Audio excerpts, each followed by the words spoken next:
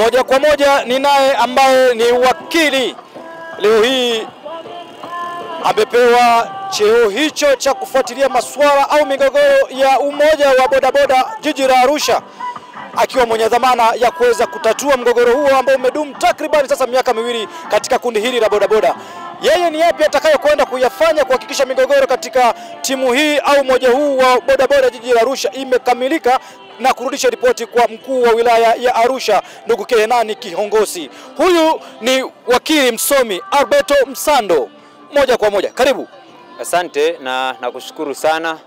Uh, kama ulivyosema kwamba Mheshimiwa mkuu wa wilaya ya Arusha amenipa jukumu la kuongoza tume ambayo itaenda kujaribu kutatua mgogoro ambao umedumu kwa takriban miaka miwili sasa kwenye vijana wetu wa bodaboda.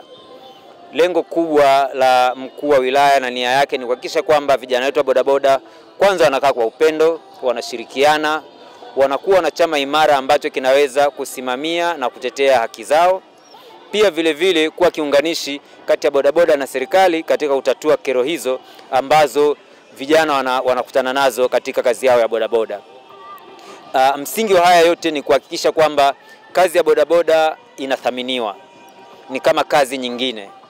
Ukichukulia tu mfano wa kiwanda, unakuta kuna viwanda au makampuni ambayo yanaajiri wafanyakazi hawazidi elfu moja elfu mbili lakini madereva wa bodaboda kwa Arusha peke yake ni zaidi ya madereva elfu mbili Kwa hiyo ni kundi kubwa ambalo linapaswa kusaidiwa, kuongozwa na kuwekewa misingi ambayo itawawezesha wao kufaidika kiuchumi na pia vile vile wakawa na mchango mkubwa wa kijamii katika kuhakikisha usalama na ulinzi katika jiji la Arusha. Kwa hiyo naamini kwamba mimi pamoja na wale ambao tutakuwa nao kwenye tume tutaenda kufanya kazi ambayo itafikia malengo ambayo mkuu wa wilaya anayo ya kuwasaidia vijana bodaboda ili kuweza kumsaidia Mheshimiwa Rais Dr. John Pombe Joseph Magufuli kufikia malengo yake ya kuwasaidia vijana na wananchi wanyonge wa Tanzania.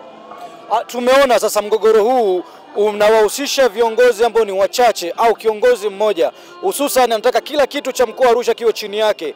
Wewe ni mwenyekiti wa tume, wewe ni mwanasheria huyu, au tuseme jambo hili linapokwenda kukamilika, matumaini mapya ya hawa bodaboda jiji la Arusha ni yapi baada ya tume yako kuja na majibu sahihi? Kwanza tutahakikisha tunapata katiba ambayo ni shirikishi kwa ajili ya bodaboda, ambayo wao wenyewe ndio watakaoshiriki katika kutunga katiba hiyo. Hatutawatungia katiba na kuwapa ili waichukue tu na kuimeza kama ilivyo. Tutawashirikisha, tupitie katiba iliyopo, tuifanyie maboresho ili iendane na matakwa yao, tuweze kuweka kabisa ya, iweze ijulikane ndani ya katiba kwamba uongozi unapatikanaje, unakaa kwa muda gani, majukumu yao ni yapi, na mambo yote yanayohusiana na masuala ya fedha na mambo mengine ambayo yatakuwepo ndani ya katiba, kwa sababu ukiangalia mgogoro uliopo ni kwanza uongozi kutukisha mikutano, pili masuala ya fedha kutokujulikana zimetumikaje, zimekusanywa kiasi gani, taarifa za fedha hazitolewi. Kwa haya ni masuala ambayo tukiwa na katiba ambayo ni shirikishi, tukiwa na katiba ambayo inaendana na matakwa ya bodaboda, basi hizi kero nyingi sana za kiuongozi ambazo zimejitokeza zitatatuliwa.